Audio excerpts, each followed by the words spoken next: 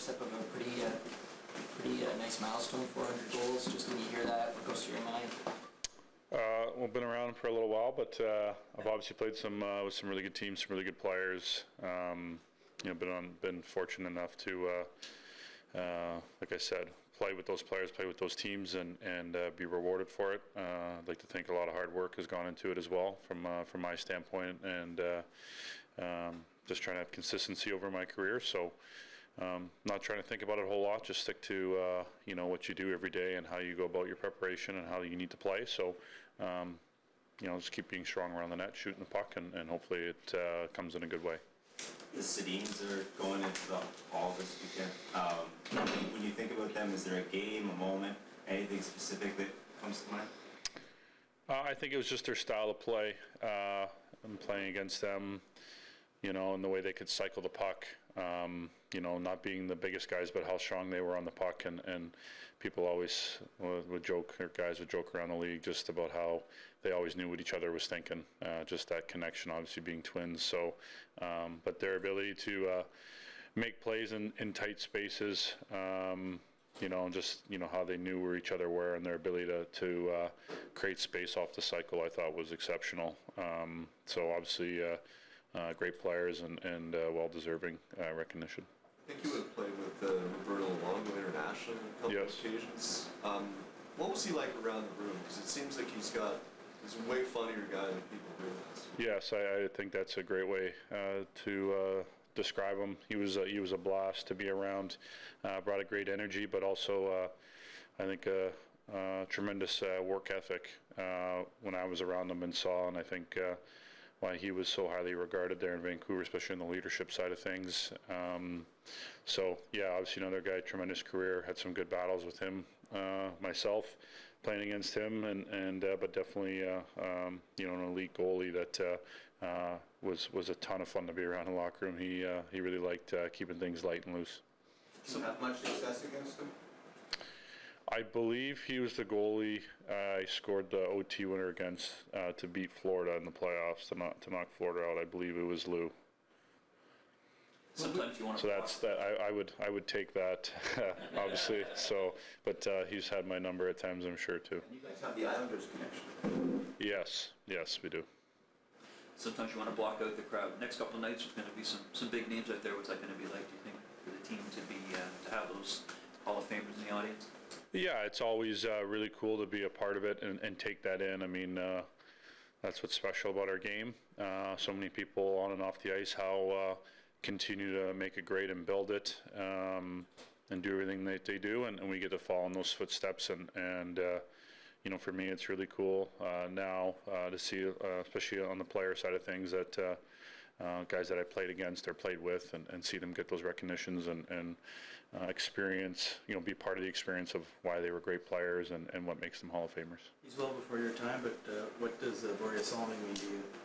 Well, obviously, he's a big part of the tradition and the history here. Um, and, you know, he, he, you know, still loves being a Maple Leaf and and uh, his connection with the team. And uh, we know he's in in in a, in a big fight right now. So all our support and thoughts are with him. And and uh, uh, I know the Swedes how much they they talk about him, how much they love him. So. Um, yeah, he's obviously a, a major part of uh, uh, the organization here, and I think even just uh, loves being a Torontonian himself too. So um, yeah, it's uh, uh, obviously a person that uh, um, that has done a significant or made significant contributions to the team and organization, and even as players today, you you feel those and, and recognize that. John, what comes to mind for you? You look over and see and. Yeah, it's not surprising, and it's uh, as it was, you know, for me entering the league and over the course of my career playing against them a lot. Um, just incredible uh, drive and uh, determination to be successful. Um, obviously, tremendous skill sets, but uh, they've uh, they've obviously been through a lot and, and continue to push the envelope to, to be an elite team and, and uh, you know a tough te- tough test to play against every night. So um, we know we got our work cut out cut out against them, and, and we have to be at our best to make it difficult. See any similarities between Austin and Sid? Um, yeah, I do. I think you know they're. I've, I've always um, thought about both of them. as the- Probably the two players that I, I've really seen guys that control the game uh, the game always seems to kind of go through them, whether that's the puck kind of following them around or just always things always seem to happen really well on the ice when, the- when they're on it because they just, they, the, the game just seems to go through them.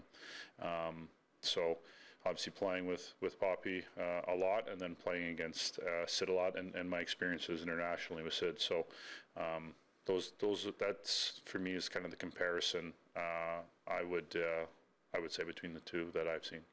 Are you too young to have ever seen Salming play? Yeah, I would, I, yeah, too young, mostly just highlights. You mentioned the Sedins always kind of knew where each other was. You know, obviously Nylander's not your twin. Yeah. But you played with him for a while. Do you have a sense of where, what he's doing? Like, We're definitely not twins. Uh, uh, yeah, I think uh, uh, more and more you play with someone, just the more comfort level and understanding you have um, on and off the ice, and I and I think there's continued uh, growth from both of us in our own way that I think you know can hopefully. I think is really benefiting us and how we continue to be better and push each other, uh, be different ma- difference makers uh, uh, in all areas of the game, with and without the puck. So, um, you know, he's obviously a tremendous talent and a very, very driven uh, hockey player in person. So he's, he's a blast to play with, and, and it's been great. Uh, I think our evolution, I think individually, but as, as, a, as a combo, and hopefully we can we continue that way. I know that uh, we really enjoy playing together. So um, yeah, it's uh, uh, it's been great so far. So um, you know, hopefully more and more and more becomes like something something on the Sedin level. Uh, This is a bit before your time, obviously, but what does Borje Salming mean to you? Well, I mean, he's uh, he's an icon. I mean, he, back in Sweden, here in Toronto, um, you know, I got the chance to meet him a couple times and talk to him. So, um, you know, he's just an icon and a guy, uh, you know, just look up to. What do you think about what he's going through and the reaction in Sweden and having here and that sort of thing? Yeah, obviously it's tough. I mean, he's going through a really big fight right now, and uh, you know, we're all standing behind him, and we, uh, you know, it's tough, but uh, we, uh, everyone supports him, and it's uh, it's great to have him in Toronto right now. And um, as I said, we all support him, and we uh, we hope for the best. Have you been able to reach out to him, talk to him at all recently? or- No, I haven't talked to him recently. I talked to him last time, I think this summer. Uh, it was the last time I spoke to him, and um, yeah, that's about it. what's the most memorable thing he said to you? Advice or anything else? Um, I mean, he's he's just a great guy overall. So I don't know if he really gave me any advice. He just said, "Look out for Toronto media." Uh, uh, no, but he uh, he when I got drafted, he uh, he took me for lunch. Actually, um, you know, somehow we we got in touch, and he, he wanted to go for lunch with me, and uh, that's something I'll remember forever for sure. And uh, as I said, he's just an icon. So that's that's my first memory, and um, you know, something something I can always look back at was that, Rasmus? back in Stockholm, uh, I think back in 2018. So yeah, I remember that. Were you nervous in that? uh, Oh yeah, I was nervous. So yeah, um, you know, with his voice and everything when he talks, and you know, he's um, it, it was some- it was special for sure. You know, my dad, he was with us too, and uh, he was my dad or my dad's idol growing up. So he was probably more nervous than I was, but um, I remember that lots, and uh, it's a great time for sure. What's that? Were you paid? no, I think um, I think it was on the house when Borje was with us, so it should be at least, yeah. Probably doesn't have to pay for any meals in Sweden. No, probably nowhere in the world, I'd say, but uh, no, it was great at least. It's a big day for, it's a big weekend for Swedish hockey with uh, three more going into the Hall of Fame. What are your thoughts on the Sedins and Alfie?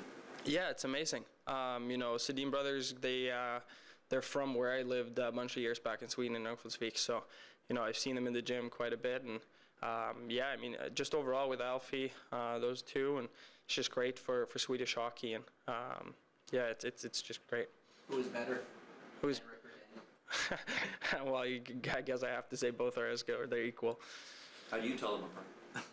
Uh, I can't. I mean, it's numbers, but now they don't play anymore, so it's tough. Um, but yeah, I it, it's that's very tough actually. Do you have any memories of Daniel Alfredsson playing, or was he maybe just a little bit before? Not much. Uh, I just remember he he went to Detroit at uh, his last season, right? And that's uh, that's pretty much what I remember. Um, you know, I think he was a little bit before my time, and in Sweden it's tough to you know be up at night watching the NHL hockey. You just see it in, on the news in the morning or whatever. But uh, obviously, I I know him, know who he is, and I've I've seen the highlights of him. So as I said, it's just great for for Swedish hockey overall. Do you know Alfie was hated here? No, I did not. I did not. It's big rivalry in those days. Oh, I, I know that, but I didn't know he was hated here. Rasmus, uh, how's the adjustment on the right? Like, and, and was that first of all Vegas part? Is that an example of some of the plays that are, are tricky for you? Yeah, I mean that's a place that happens. I think they can happen on, on your strong side or your weak side. Um, you know, it's an un- unlucky play and uh, a tough start of the game first shift. So, um, but it happens. You just got to move on from and uh, and you know try to not make it happen again. So, um, but the adjustment has been fine. I mean, I, I've been playing with Gio and he's helping me a lot. So. Uh, we're kind of playing the side where we're getting on to. Um, so if he stays on the right for a little bit, I mean, we're trying to shift whenever it's a good chance. But I think the adjustment's been pretty good. We've seen you working with the skill development guys before, Paul. Like, is it is that help you with that? Like the, the adjustment is the skating a big big part of it? Yeah, yeah, lots. I mean, it's the way you turn. Um, you know, playing with your stick on the inside, it's easy to get your back turned on the right side of the wall and stuff like that. And it kind of takes takes our players away a little bit with your with, when you with how you have your head up. Um, so trying to work on that, and uh, obviously it helps a lot. So um, trying to get as many sessions as I can in there. What's it like to face Crosby? Well, that's uh, it's tough, um, but he's uh, obviously he's uh, he's has been such a good player for such a long time, and that's one of the guys I look up to uh, growing up. So obviously he's had a tremendous career so far, but uh, hopefully uh, we uh, we have some plans to, to stop him tonight, and hopefully he uh, he won't be as good as he usually is today. What's Down low, down low, does anybody have edges like him? What's that, sir? Down low, does anybody have edges like Crosby? I don't know. I don't know. It's uh, it's tough. Um, trying to not look too much on his skates because then I'm probably going to be laying on the ice. So, um, you know, just try to follow and play smart against him because obviously everyone in this league and probably everyone in this world knows how good he is. So, uh, I just got to play smart against him and and uh, yeah, play tight on him. Don't give him any room and uh, don't give him time to make uh, make lots of plays. What stands out most to you about the way Eric's handled being kind of thrown into the fire here, the starter's role? He's been doing it really well. Um, I mean, Eric is uh, he's kind of a quiet guy, but he's confident in himself, and he, he knows what he's doing, and he's uh, he's super happy to be up here and get the chance to play. And obviously, everyone here is so happy for him as well. And um, you know, he's been handling really well. I think Vegas game, he, he played really really good for us. I mean, I don't know how many breakaways he stopped, and uh, really good scoring opportunities. So we're happy for him, and hopefully, he can keep that going. Does he ever break his calm demeanor? Because he's like, maybe in Swedish, I don't know, like playing cards or something. Yeah, we don't play too much cards, but uh, uh, yeah, he can he can be pretty mad sometimes. But uh, you know, as I said, he, he's a calm guy. He's just super nice, and he's he's confident in himself. So um, obviously, looking forward for tonight, and uh, so does he. Zach, uh, what's tonight going to be like for you? Um, not really sure what to expect. It's always a little awkward playing against guys that you've been friends with for five, six years. But um, I mean, everyone says that that plays against their old team and have friends during the game. So Catch up with any of the guys uh, yesterday? yeah, um, stopped at the hotel and just said hi to a few of the guys, short and sweet. Who were you close with on that team still? Um, I mean, I'd say probably 70% of the team that's been intact since I was there. Um, I built pretty close relationships with a lot of those guys, and I don't know, just hitting a few Blueger, Dumoulin, Rust, Ruedel, you know, guys like that. So You're out there against uh, Crosby tonight. You got some inside information that will help you. I'm sure you battled in practices. Um, no, I mean, can't really prepare for that. He's one of the best at protecting the puck and um, has some of the best vision in the game. And um, it'll be a task. I'm not sure what line's going to get that matchup, but whoever does, I mean, it's going to be a hard task. You've only been here a little bit, but do you notice any similarities between Austin and Sidney, either game-wise or how they approach it? Um, I think they have similar work ethic. They both work really hard in practice. Um, I mean, even I'd say more so. I noticed some similarities between Tavares. Just um, I don't know, it's almost like a little bit of an aura that those guys give off that um, you know you just want to follow. Like they're meticulous in terms of their approaches, because we hear Yeah. stories about John. Yeah, definitely so. Just wondering uh, what it's going to be like to face off against Crosby and Malkin tonight. Yeah, it's uh, obviously, uh, you know, Crosby was uh, my uh, idol growing up, but no, it's going to be uh, pretty excited for that. But again, it's another game uh, we got to be focused on and playing, and uh, it doesn't matter who the opposition is. Crosby was your guy growing up. Yeah, he was my guy. He was my guy for sure. Because you're Well, my my uh, my agent was his agent, and I was playing around when he entered the league and stuff. So um, I was always asking my agent about him and stuff like that. But uh, yeah, he's, he's my guy growing up. Did you meet him during Rangers? I've never met him before. Never met him. Is it going to be weird to look across tonight and see him? yeah, a little. I mean, um, I've played against a lot of players now. I've been kind of like, oh my god, and now it's like, you know, you kind of I have to more things to worry about. So Did you have a sweater, a poster, anything, anything like that? any, every, every, everything you can imagine. I was a big Pittsburgh fan, a big uh, uh, Crosby fan, everything. Still have it? Any of it? No. oh, it's gone. Not in a box. Uh, it, it's it's maybe put away. I didn't toss it out, but no, it's still So when you're talking to your agent about Sid, like, did anything pop, like that you learned about him that you maybe incorporated or? Well, just uh, he saw when I was young. it was just his work ethic, and um, actually, you know, him. I remember uh, him calling for the puck a lot, so I incorporated that in my game. And uh, when I was younger, and people used to say I called the puck too much. So um, I think that's one of the big things. Uh, watching him and, um, and learning from my. Would you try to get a stick? Are you that, that guy that would ask for a stick? Uh, I don't know. It'd be nice if I got one, but uh, again, I have, a, I have a game to focus on tonight. I have, um, you know, I'm not an eight-year-old Sid fan anymore, so uh, I have a big game today to focus on. How do you feel it's been going for you since you've been back with John and Willie? It's been good. I mean, obviously, the we would like a little more offense, um, given the past two games we played against a lot of, you know, in Carolina and then Vegas, so tough teams and.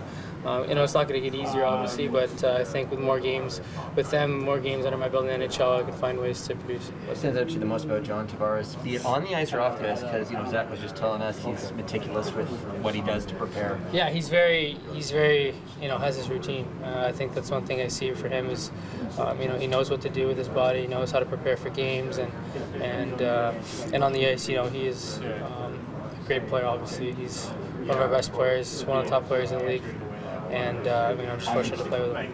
Blocking shots was not the thing to do, right? Oh yeah, like, again, it's it's a bit before me, but I uh, yeah, I mean, I, I've uh, speaking to to my dad and his generation about him. Uh, uh, they, they always say underrated, one of the one of the best players, you know, in the game at his position. So um, uh, yeah, great. Great to, to gain knowledge about guys like that all the time and, and have uh, weeks like this. What's your dad's name? Paul. Paul, yeah. Well, when I was growing up, it was sort of the 90, uh, early 90s. So, uh, you know, Doug Gilmour was was a was a big one. Wendel Clark uh, were two that stand out really really off the top of uh, my mind. Um, and then going on the back end, I, re- I remember watching them in '93. They they had a, you know, guys like uh, Macoun, Bob Rouse, Sylvain Lefebvre, uh, Todd Gill. So all those guys I really watched really closely on the back end.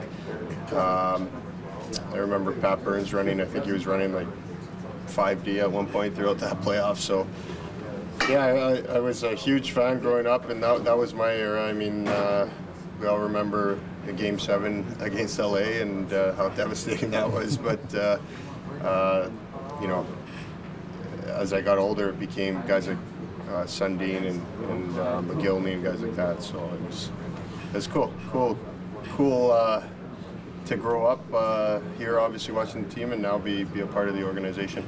Mark, what do you think the moment will be like when they recognize for here? Oh, I think it's going to be unbelievable. I was just saying, I uh, I uh, saw a tweet, I think it was, or a picture of his family all together. So um, I think uh, that's it's a special moment, obviously for them, and uh, I think you're gonna you're gonna you're gonna see a great, you know, a great moment there for sure.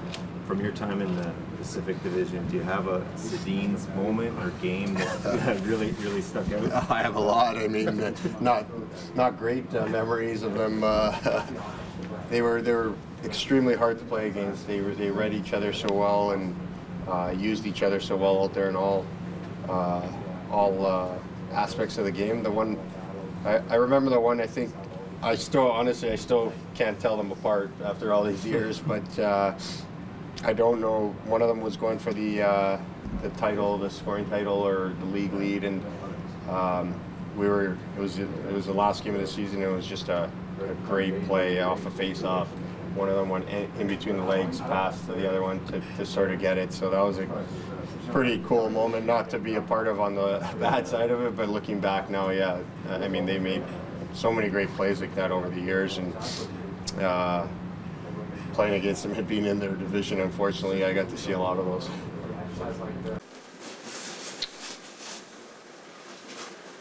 Who's leading the charge here? I don't mean to lead off, sorry, but uh, generic Ju- Giordano question.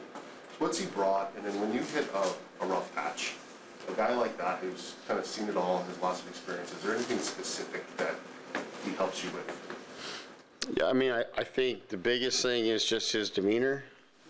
He's, he's a very calm, even keel guy, and a lot of that comes just his natural personality, but also because he's sort of been through it all and, and seen it all.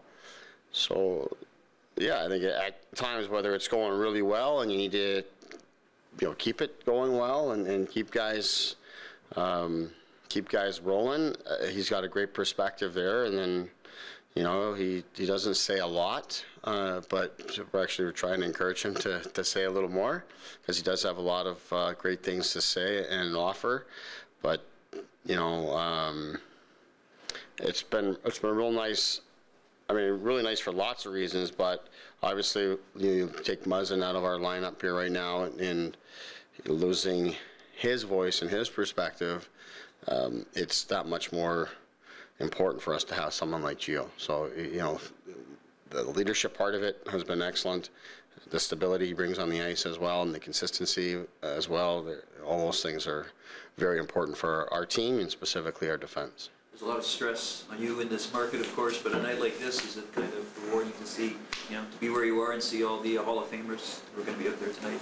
Yeah, it's a it's a great night. Uh, it's one of I mean, for as long as I can remember, this is always a game that I was you know be excited about watching on TV and the whole the whole weekend and, and honoring players that you you idolize and all of that. Of course, as I'm getting older, it's now players that you know you know I the Sedins, for instance. Uh, remember them getting drafted. That was my my draft. So.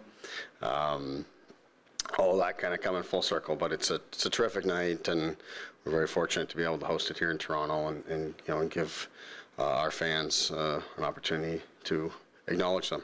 What's uh, Borje Salming mean to you? Well, it, it has a whole new meaning when you become the coach of the Leafs because you know he's um, you know like so many others, he he is the guy that you you when you think of the Leafs, you you think of him. In particular, when it comes to the European players, which are you know so prominent uh, around the league, but even on our team now, I know we have a number of uh, Swedish players specifically that um, have a, a bond with him, and he's even taken time to to you know spend time with them. Um, you know, he was here last season and chatted with him briefly, um, but uh, I think he's. It's very clear to me that he's a proud Maple Leaf, and I think, like all of our alumni, when you have that connection, I think it helps your current team. You see how the impact that the team has had and the city has had on, on players that have come before them. And obviously, um, I was young through a lot of his career um, and a lot of it before I was even born, but it, you still feel his impact even more so now in my current role.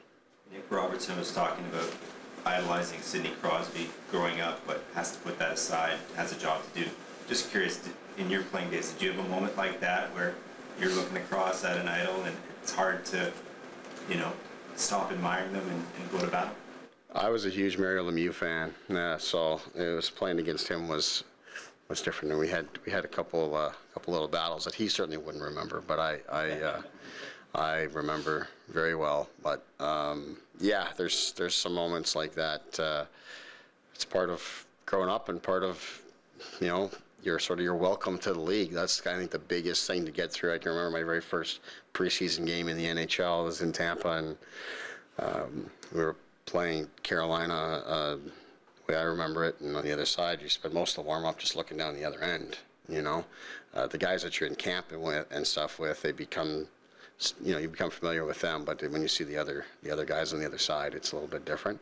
That's part of the growth of the league. I think you get over that fairly quickly, and you realize that you belong. I think that's the biggest thing. What happened in those battles with you? Mm, That's for another day.